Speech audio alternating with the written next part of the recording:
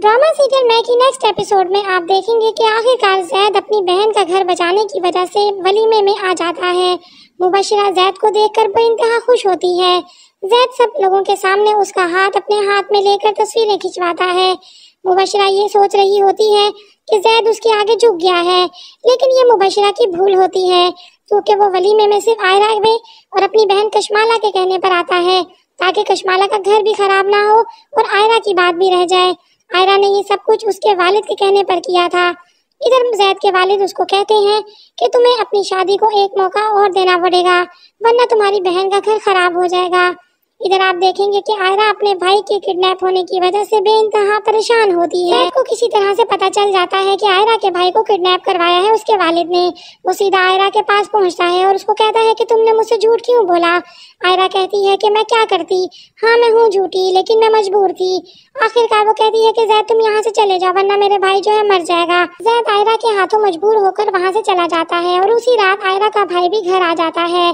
जैद के वालिद उसको घर वापस अपने आदमियों के हमरा भेजते हैं। लेकिन वो बेचारा बेहोश होता है आयरा भागती हुई अपने भाई की तरफ़ लपकती है और बहुत परेशान हो जाती है अपने भाई की ये हालत देखकर।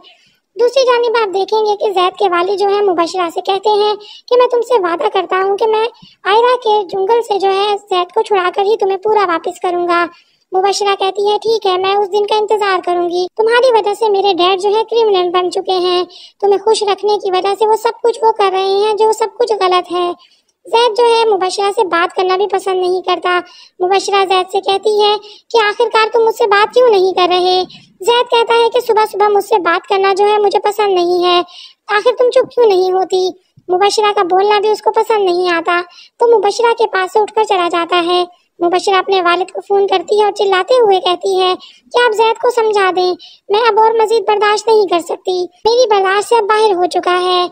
मुबशरा के वालिद कहते हैं कि, ठीक है बेटा, ये तुम्हारा ही घर है। तुम वापस आ जाओ। तुम्हारी अपनी चॉइस है। फिर लोगों को तुम ही जवाब कर देना और उन्हीं को तुम फेस करना। इधर मुबशरा जो है बेचारी सोच में पड़ जाती है कि आखिरकार वो क्या करे। मुहिब का कहा, सच हो जाएगा।